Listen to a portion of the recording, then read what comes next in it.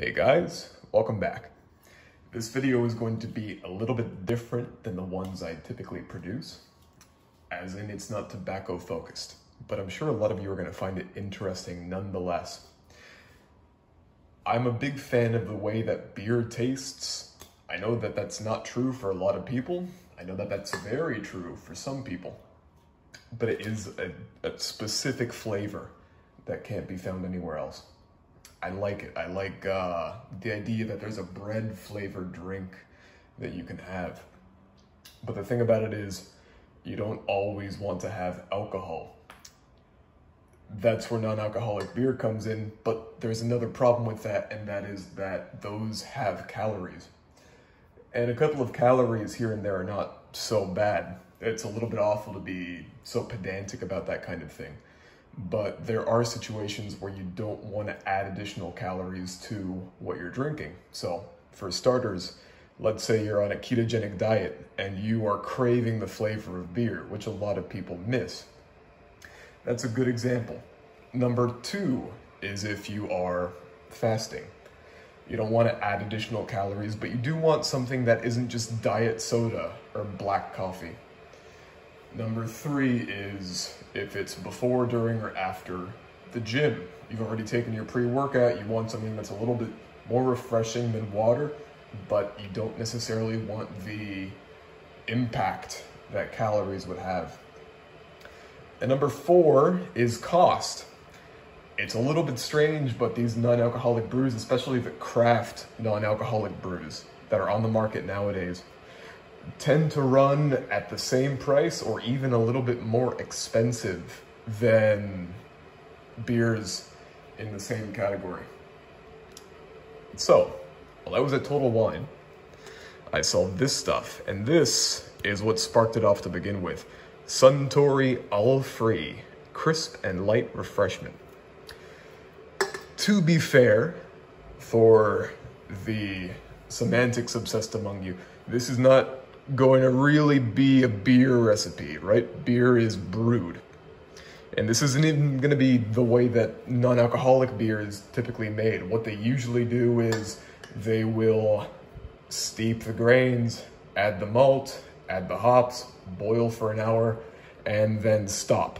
They'll dilute it with water because sugar is more viscous than the alcohol that it becomes, or they will figure out other tricks to make it drinkable.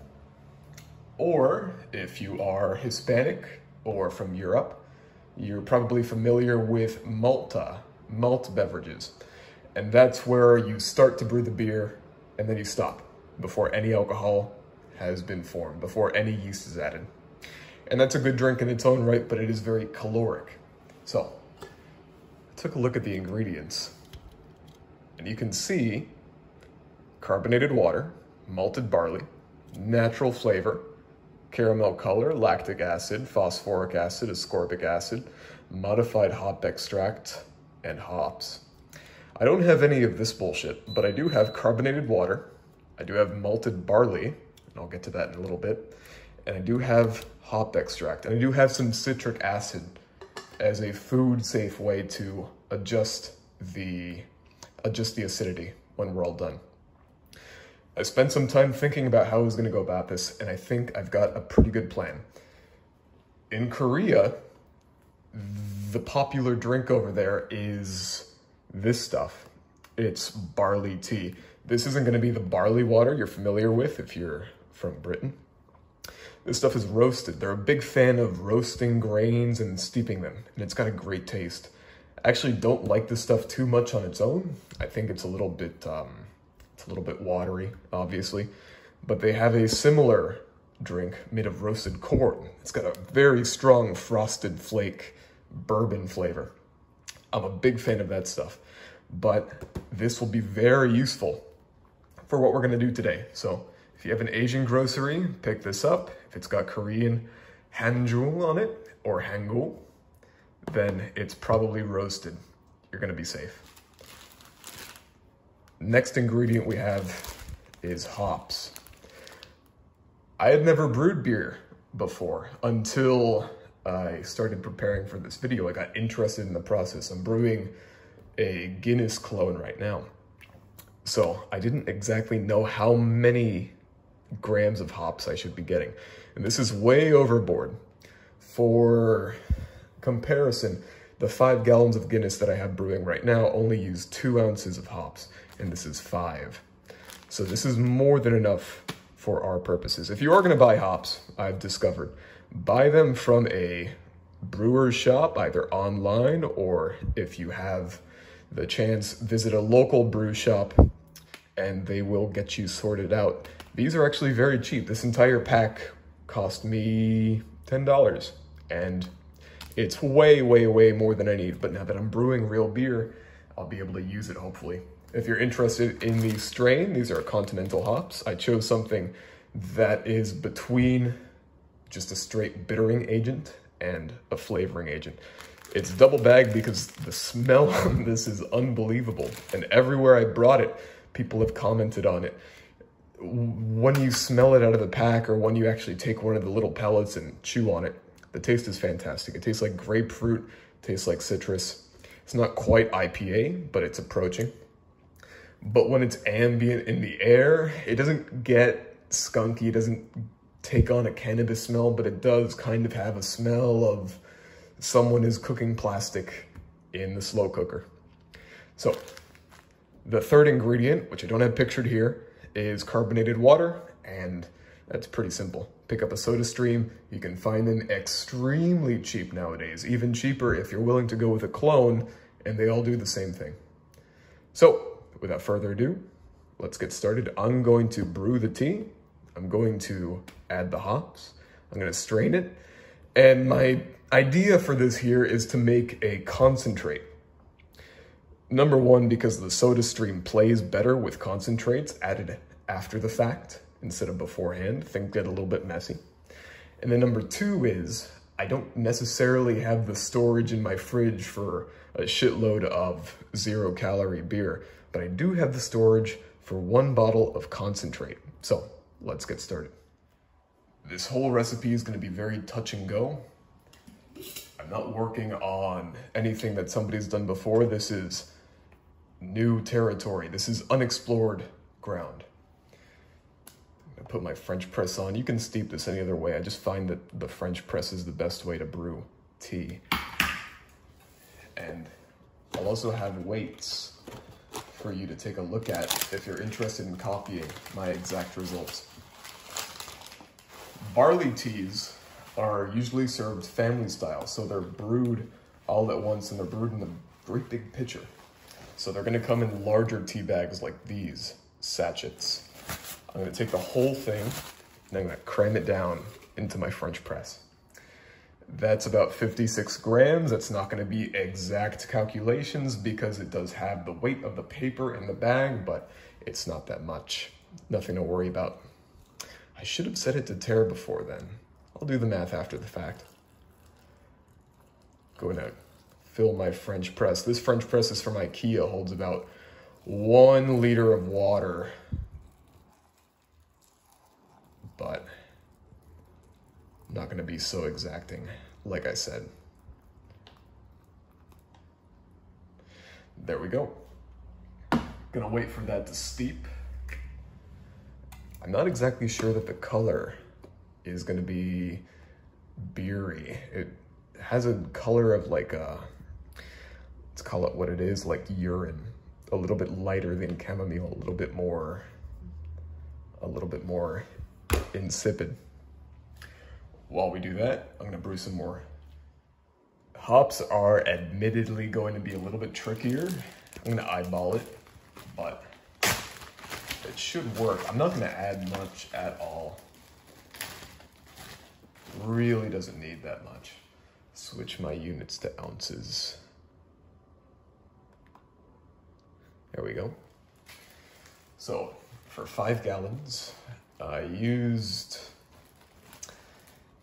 two ounces of hops. This really isn't gonna be that much at all.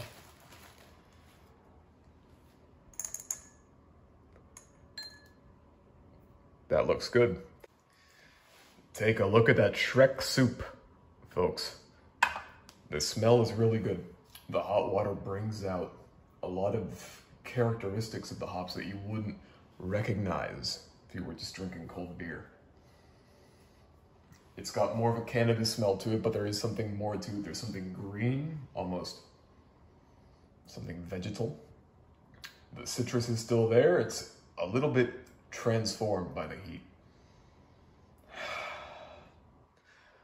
There's grapefruit still. Something like bergamot. And this brings me to the reason why I'm doing this on this channel to begin with. A while ago, the snus maker, Connie Anderson, made a couple of beer-inspired snuses. I never had the chance to try them. They were very limited release. I believe a couple were only sold at Melgren's Tobacco, um, and others were, you know, before my time, before I was snusing. So I'm a little bit jealous of the people who did get to try them. But making a beer or an IPA snus in general probably isn't that hard, right? We have all the elements here before us. All we need to do is add a little bit of that barley concentrate, add a little bit of this hop concentrate, maybe add actual hops during the cooking process. But the safer way to go is just add everything after it's cold. Maybe it'd be fun to replace the cooking water that we mix the tobacco into with that barley tea. Hey, there's an idea, maybe an upcoming video. Probably. It's kind of silly to me how many non-alcoholic beverages are so expensive. The biggest one, the biggest transgressor to me is a brand called Hop Tea or Hops Tea. I'll put a picture up on screen somewhere. All it is is carbonated tea that has hops added to it. It's supposed to appeal to the more health conscious person, the tea drinker, the IPA enthusiast, the non-alcoholic beverage connoisseur.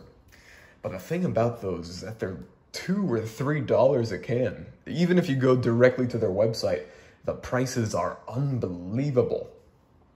And it shouldn't be that way. We just talked about how hops are almost nauseatingly cheap for what they are, almost too cheap for what they are. Tea is so inexpensive, it boggles the mind, especially if you go with a very cheapo black or green tea. And you probably will if you're making a hop tea clone, since it's the hops you want to taste that are backgrounded by the tea instead of the other way around. And then buying a carbonator is so inexpensive, it's hilarious. So why anyone would spend two or three dollars on a can of carbonated tea with hops is beyond me. With that being said, I have done it many times before and they are very good. So if you have a chance to try one, buy one, and then no more, then follow this recipe. Everything has been nicely steeped for the hops. Since I don't have two French presses, I'm going to use our colander to get all that muck out. If there's a little bit of particulate in there still, I won't mind so much.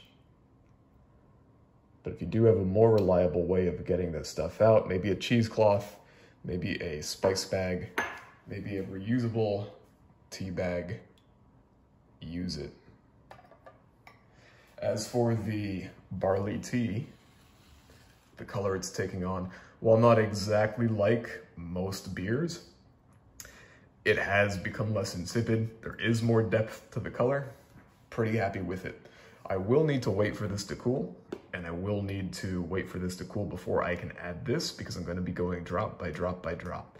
And the taste I'm looking for is something like a flat beer. As disgusting as that sounds, you have to remember we're kind of working backwards. We are starting with the worst flavors and adding our way towards a good final product. All right, I think it's time for us to put it all together. I have a bottle of carbonated water. I didn't go as far as I would go with cola. Beer has a softer carbonation. It's more subtle than a soft drink. Going to start, you know what? If you're following along methodically, I shouldn't do you the injustice of not showing you the measurements. But I won't be keeping track of them. Keep in mind this stuff is also hot. Well, let's try, let's try the tea with the carbonation to begin with. It's gotten a lot lighter. The smells are very beery in the room right now.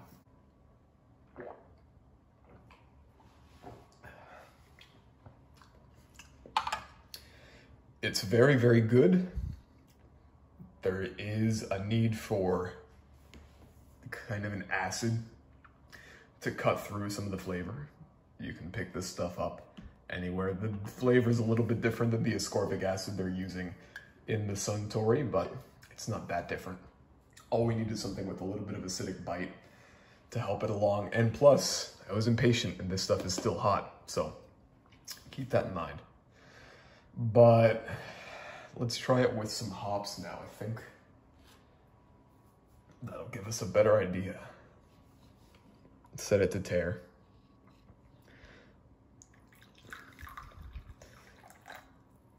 I think half is going to be the way we do this. And I haven't kept in mind that I'm going to lose some carbonation, so I'll be right back to ultra carbonate that soda stream water. Got some more bubbles in there. Let's add the hops first. There are some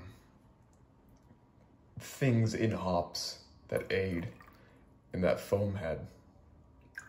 That might be way too much, I think. Let me have a smell.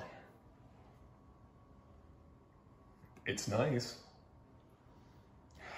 It almost smells like lemonade, like if you roasted lemonade. Let's add our carbonated water. I can also see why they add caramel coloring. There's no way this stuff is gonna look exactly like beer. Cheers.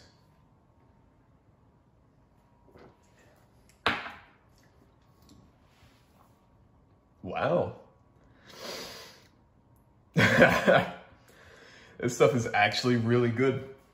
It's like drinking a hot IPA. I know that's gonna sound disgusting, but that's, those are the flavors I'm getting. Let me give you the play-by-play. -play. The first things that hit your palate, number one, the carbonation. Because there's no ambient sugar or ambient starch or carbohydrate in the beer, to kind of soften the blow of the carbonation, a lot more carbon dioxide is going to be released a lot more quickly. So th the bubbles are more fearsome on the tongue, if that makes any sense.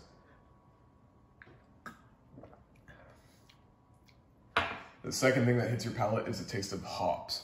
And it's that, it's that sharp cut that you get when you drink an IPA. It's, uh, it's penetrating, I think is a good word for it. Not piercing, not nauseating, but immediately followed by, oh, this is a carbonated drink. You get that, you get that little zing of the hops. Not bitter or not overwhelmingly bitter. There is some bitterness to this like real beer would have. Another taste.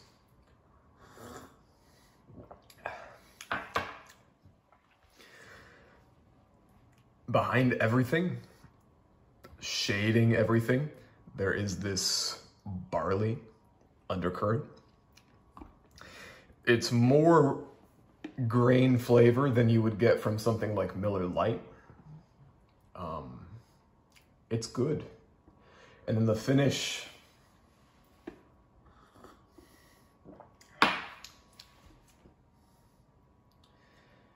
it does have a little bit of that beer grip. Not like a whiskey or a gin sting, just the grip that beer has on your throat. I think the hops are actually helping a lot, and I think that was the perfect amount of hops to add to this. I'm really impressed. That was good. And then on, on the throat, right at the start of the throat, you are getting the crispiness of the hops. Even when it's hot, even when it's hot, guys. Man, this stuff is good. First time drinking a warm, non-alcoholic, zero-calorie APA or IPA, that's for sure. But no, it's good. This isn't even truly an IPA, right? There are different types of hops that people would associate more with different flavors, but I am getting a lot of those IPA flavors out of this. I I just wish that the color was better and less like piss. Maybe caramel coloring is due in the future. Or maybe, if you want to go to the brew store, you could always ask for roasted hops. Or er, roasted malt. then steep that as you would if you were making beer, but don't add malt extract or anything. Just a little bit, a little bit of the roasted malt for the color. Okay guys, I've assembled a beautiful flight of non-alcoholic beer of all different sorts to see where ours stacks up. I tell you right away, ours doesn't have anywhere near the depth of color, nor does it have the nice creamy head. Even Suntory's non-caloric offering has a little bit of a head that sticks to the walls of the glass. So not exactly disappointing, right? If you're drinking it in the dark, it doesn't matter what it's got. But a little bit concerning, right? One of these is definitely the least appetizing out of the whole bunch. It actually looks like some ciders that I've had have this kind of appearance. So first off, going to taste the Lagunitas IPNA. This is more or less what we're trying to replicate with this one.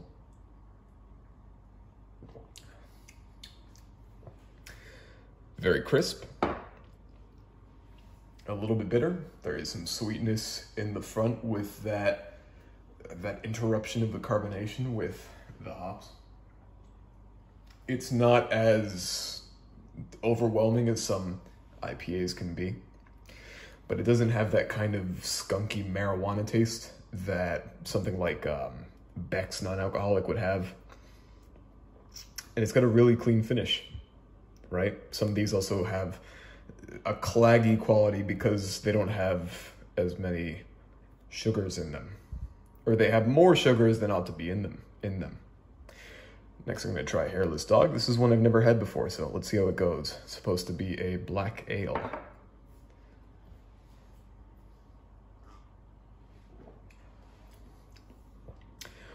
I don't like this one. I really do not like, holy sh, whoa, that's bad. Okay. Okay, cool. All right. This is really bad.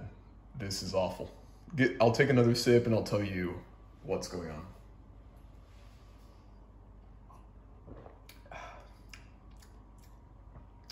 There are some hops, but the hops don't taste good right away there is the taste and the retrohale of grandma's old jar of molasses that you keep dipping your finger into thinking it'll suddenly taste good.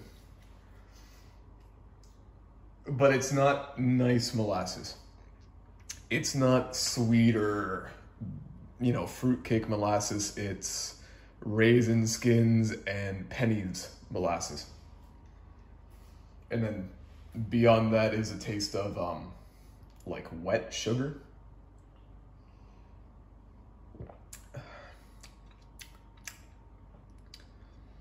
If you've ever tasted a nut, right? I'm sure many of you have.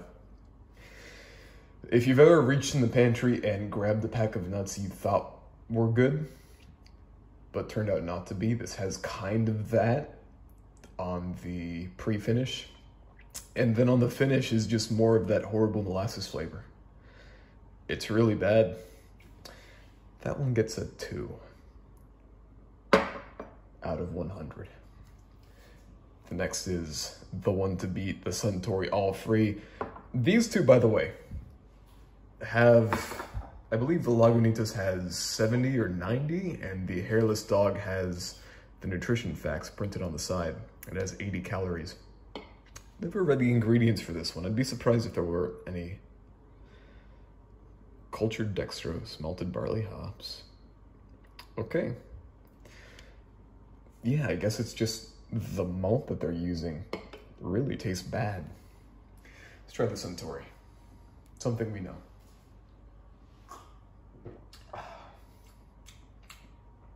Awesome.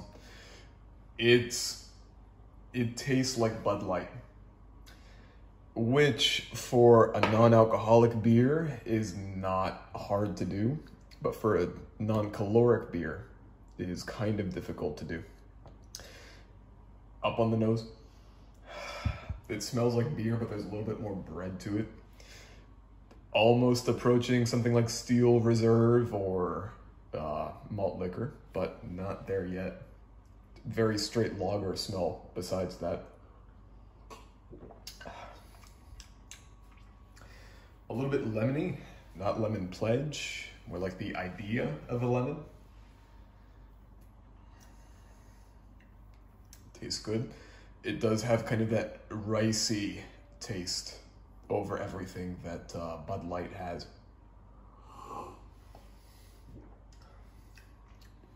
And then the finish tastes like nice, clean lager.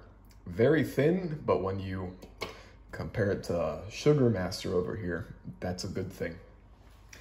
And last, probably not least, is ours. Color, not good.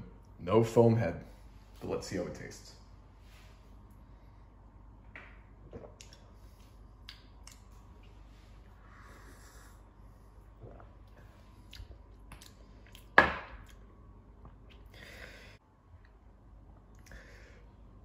Comparing this to the Lagunitas is unfair. Lagunitas, from what I've tasted of them, they know what they're doing with IPAs. And if you didn't tell somebody that this was non-alcoholic, a lot of people say this for advertising sake, but there are enough good flavors in here. The texture is convincing, the mouthfeel is convincing. The color and the head are very reminiscent of what an IPA should look like.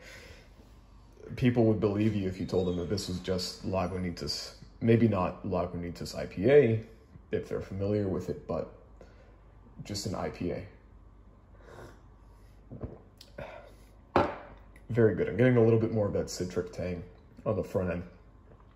Not a hop citric tang, like a citric acid citric tang. As far as ours goes.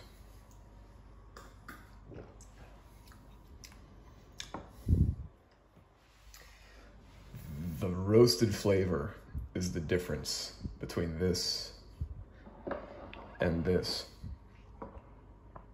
There's a roasted flavor that's not present in this. It's a little bit present in this if you kind of twist your mind to convince yourself that rice tastes like roasted barley.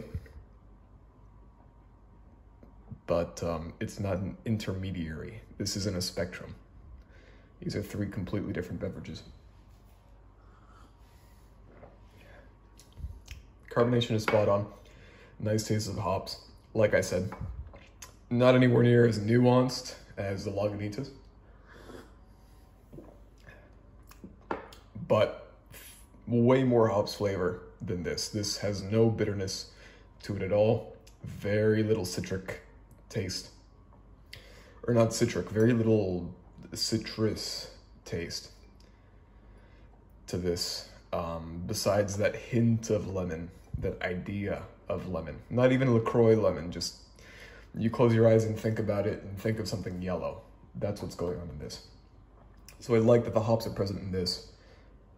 And that may be what makes the difference between me never making this again and continuing with trying to get this better. Color has a lot to do with it, right? You do want what you're drinking, if it's a substitute, to have the appearance of what you should or want to be drinking. But besides that, I think the flavor is good.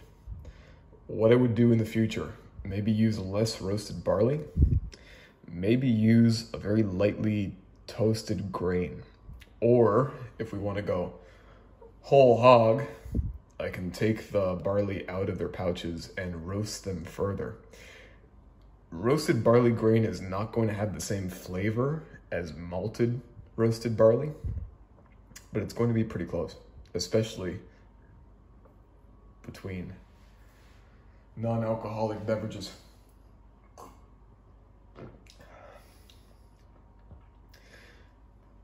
Centennial hops are really nice. I'd say that besides color, this was a success. I would say that besides color, this was a success. This was a good thing to do.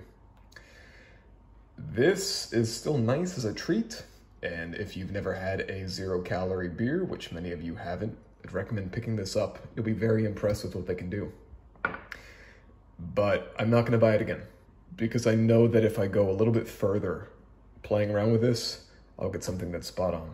Or I can just make hop tea. Thanks so much for watching. I'll have new good videos soon. Take care.